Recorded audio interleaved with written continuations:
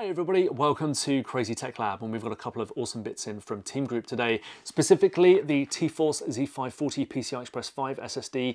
Very, very fast, COP costs around 230, 240 bucks for two terabytes, so it's not a cheap item, but if you want the fastest speeds that you can possibly get on the PC desktop at the moment, this should definitely be on your shortlist. Now, the problem is, first of all, you need a compatible M.2 slot. Not all motherboards out there have uh, PCI Express 5 capable ones, but most of the new AMD Socket AM5 platform does, and uh, also some of Intel's uh, current gen as well, but we'll see more support for that in future.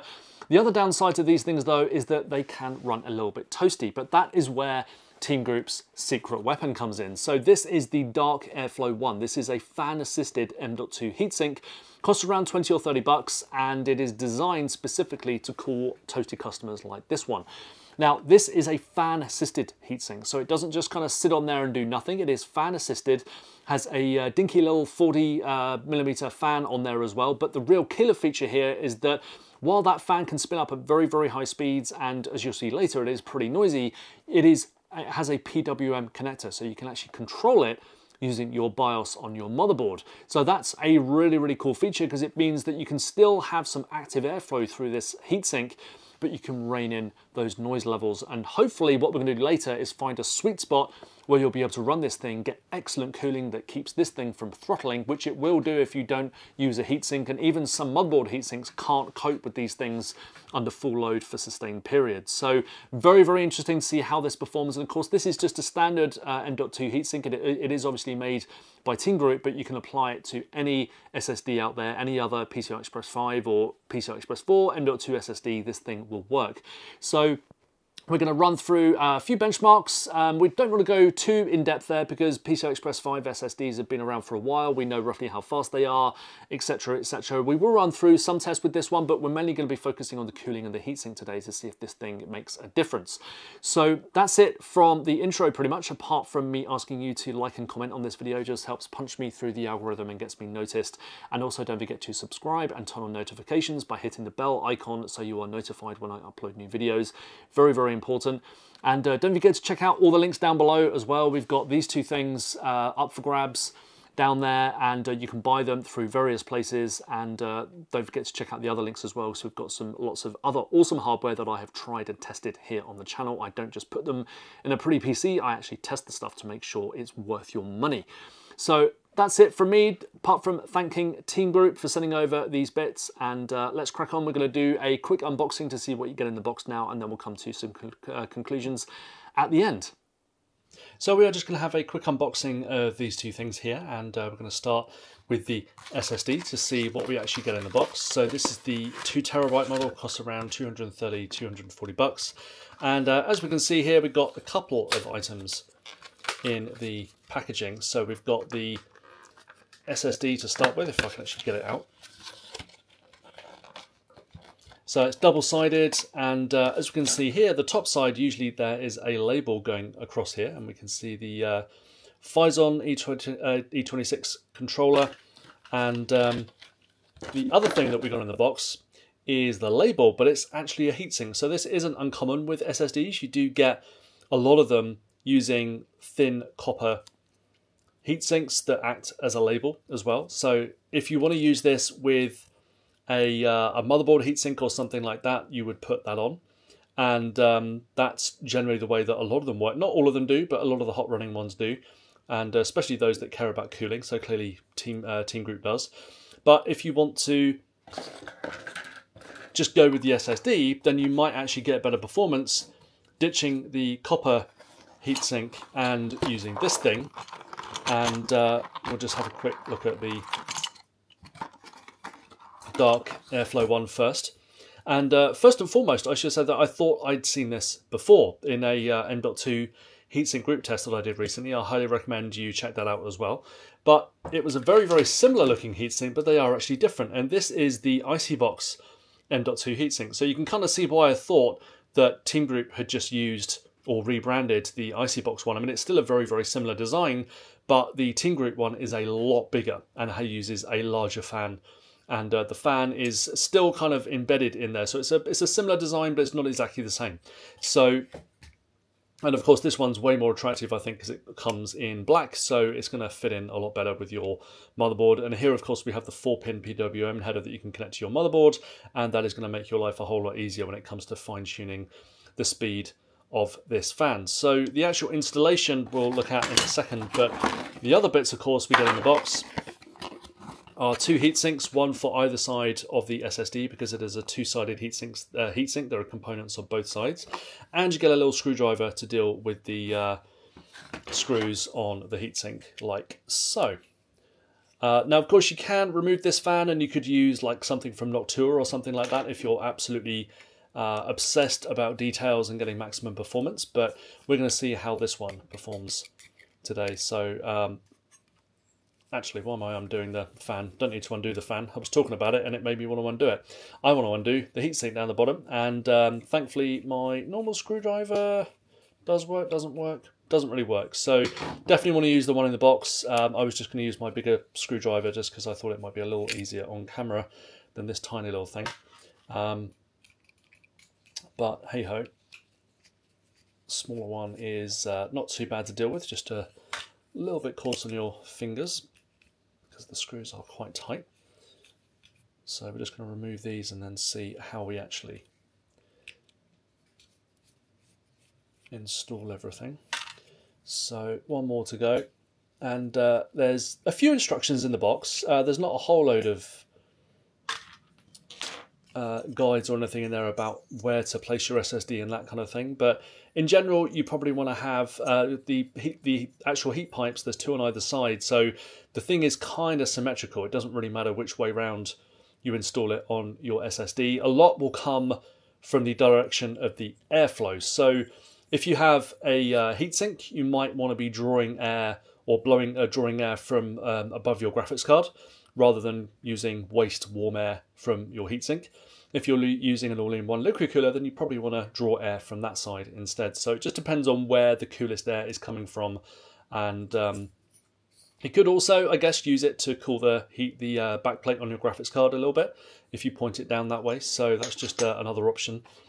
And um, looking at the instructions here, it's uh, fairly simple. So you'll just um, yeah, so even the uh, the instructions don't really tell you which way to to mount it. Like there's no cable or anything. Although it does have the the fan pointing outwards, um, which is basically on your motherboard. The fan would actually be pointing down towards your graphics card. That's what that's telling me there. I think so. Uh, interesting way of doing that. But here we've just got the SSD located or sandwiched in between the two thermal pads and then sandwiched again between the base plate that we've got here and the um, cooler or the heatsink itself. So we are going to try just placing the SSD in here to see how it installs and how it fits. So pretty much like that. You just want to have a, uh, a little edge meeting up to that little notch and then uh, to give yourself enough clearance down this end to actually install it. So what we're going to do now is just uh, do a quick bit of video to uh, show how to install it.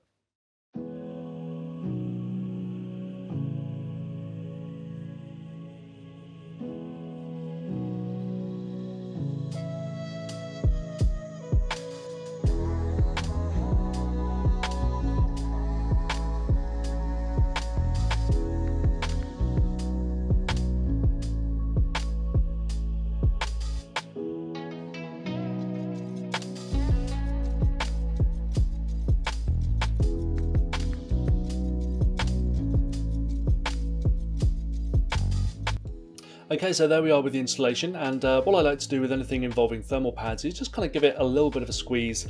Not so much that you might damage the SSD, but just so we can kind of press that heatsink um, on the base and the upper part just onto those thermal pads and just compress them a little bit so they make good contact. And the other thing we need to do is just to resecure those screws. So here's the completed SSD and I'm glad to report that it fitted fine in our MSI test motherboard with all its tool-free gubbins enabled. And uh, here it is at the default speed in our motherboard. So still a little bit noisy when you compare it uh, when you're sitting next to it and compare it to everything else. But here it is at full speed which is between about 7 and 8000 RPM definitely don't want to be running at this speed. It's an absolutely horrible noise but if we tune it down to about 2 to 3000 RPM, it is much, much quieter. In fact, I couldn't actually hear it above the rest of the system. So this is definitely the sweet spot if you would want to hit this RPM all the time. Checking out the temperatures now then, and we've got the Dark Airflow 1 heatsink at full speed managing a temperature of 49 degrees C, which is super, super cool. That rose to just 51 degrees C at the default speed, which was much quieter but still quite noticeable above a lot of the rest of the hardware in the case. Tuning everything down to 2500 RPM or thereabouts, and uh, that's the sweet spot. Couldn't hear the SSD at all really unless I put my ear right up against it, so if you've got any other fans in your case, they will drown it out. That managed at 57 degrees C, so it's a little bit of a rise compared to the default speed, but it's well worth it due to the lower noise levels. Now, if we go for the motherboard heatsink, you'll see that rise by over 10 degrees C. In fact, it rises all the way up to 71, which is only about 9 or so degrees away from throttling. So if you have a toasty day or there's not that great airflow in your case, you could potentially see the SSD throttle with this heatsink. And of course, with no heatsink, you see the temperature rocket up well over 80 degrees very, very quickly. So overall here, it's a really good option to go for the Dark Airflow 1 heatsink. So moving on to the speed results now then, and we have the sequential speed at the top. Obviously no surprises here, the PCI Express 5 SSD way out in front of our PCI Express 4 example, which is a Samsung 990 Pro. And uh, moving down to the two random sets of results, the only one where the uh, Team Group had a significant advantage was on the read speed uh, right at the bottom there. Um, elsewhere, it's a, a uh, bit of a toss up between the two. There isn't much in it, um, apart from a slightly slower result for the Team Group right at the bottom there. So, what do we make of the Team Group T-Force Z540 SSD and the Dark Airflow 1 heatsink? Well, starting with the SSD, performed pretty much as expected for a PCI Express 5 SSD, excellent sequential speeds, and some surprisingly high random speeds as well. And I also like the fact that Team Group has with this thing included a label in the box, which is actually a small heatsink. It's a very thin sliver of copper. But out of the box, the, there is no heatsink on the top of the SSD, which means that if you do add it to your motherboard and you put your motherboard's heatsink on top, you will probably see slightly lower temperatures doing that than if they had pre-applied any kind of label. And I wish more, more manufacturers would actually do that because it's quite hard to remove some of the adhesive labels once they are stuck on and um, they, you still see significant drops in, in M.2 temperatures once you, even if you use a label with a heatsink, but it would just be easier if those labels weren't applied as standard. So the SSD, reasonable value, excellent speeds. I like the fact that the label um, isn't attached as standard.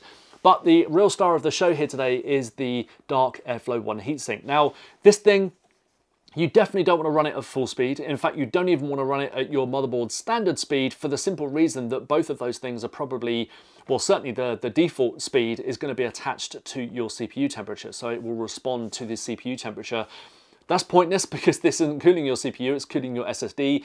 And usually, unfortunately, motherboards don't have an input for an M.2 temperature. Um, so that's a bit of a shame. Uh, so the but there's an easy way around that, which is what we looked at earlier, which is just to stick it at a fixed speed that doesn't generate any noise and just let that do the cooling. And while you did see about a six or seven degree increase in the temperatures, you're still looking at temperatures below 60 degrees, and that is well away from any th uh, thermal throttling zones. So you will see better temperatures if you ramp up the speed, obviously, uh, but it's not worth it because the noise levels, um, especially at full speed, are absolutely hideous, as, as you would expect for, from a very, very small fan spinning at nearly 8,000 RPM. So the capability is there. I don't know why you would need that capability, um, but it's just what the fan is capable of, not necessarily what you should be running it at. So I would tune it down to about 2 or 3,000 RPM or about 20 or 30% in the BIOS, depending on your motherboard, of course, that will vary, uh, but just aim for around two to 3,000 RPM, and that is kind of the sweet spot. It will keep it well away from any throttling, and uh, obviously you can use this thing on any SSD out there as well, any M.2 SSD. It has everything you need in the box with the heat sinks, and uh, the only thing you need to add it add to it is an actual SSD, and it can be PCI Express 4 or PCI Express 5, whatever you want. So I would definitely recommend the uh, Dark Airflow 1 heatsink, whatever SSD you're using, especially if you are using a toasty PCI Express 5 SSD. And as we know, a lot of a lot of the new motherboards are going to be supporting uh, PCI Express 5 M.2 slots in the near future, and hopefully those SSDs will start to come down in price as well. So that's it from me today. I'd like to thank Team Group for sending over the goodies. Thanks to you guys for watching. Again, don't forget to like, comment and subscribe on this video. It just helps punch me through the algorithm and gets me noticed and it's always great to have your support. Don't forget to check out the links down below where you can buy both of these things as well as lots of other awesome hardware down in the description below and uh, that's where the timestamps are as well so don't forget to check those out. So that's it for me today. Thanks for watching and I'll be back very very soon.